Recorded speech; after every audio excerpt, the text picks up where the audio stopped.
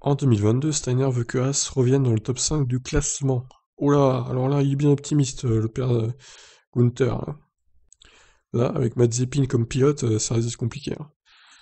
Alors, c'est une saison de transition, comme je l'appelle, c'est une transition pour arriver en 2022. Nous avons fait cela, nous dépensé aucun jeton aéro pour 2021, considérant que cette année, si nous investissons beaucoup de temps, d'argent et de jetons, de temps en soufflerie, ce n'est que pour un an.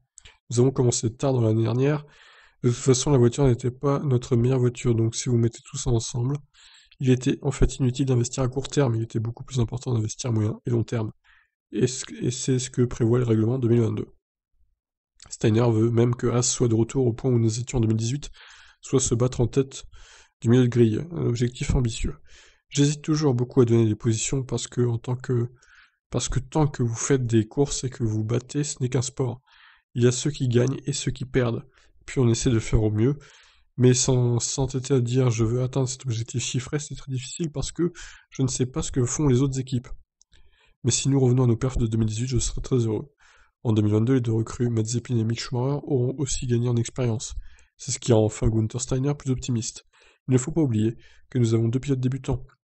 Comme je l'ai déjà dit lorsque nous les avons annoncés, cela fait partie du plan global, nous voulons être prêts pour 2022 dans tous les domaines. Au final, nous avons deux pilotes qui sont prêts et qui sont jeunes, qui ont faim parce qu'ils n'ont jamais été là, et nous avons prévu de développer une bonne voiture pour en 2022. Et ben, avec l'argent de Papa Mazepin, j'espère qu'ils y arriveront du coup, hein. Mais de là à ce qu'ils fassent cinquième du championnat en 2022, ça m'étonnerait qu'ils y arrivent, honnêtement. Mais bon, on verra bien. En tout cas, l'objectif est très ambitieux, on va dire. Je vous laisse réagir. Ciao, ciao.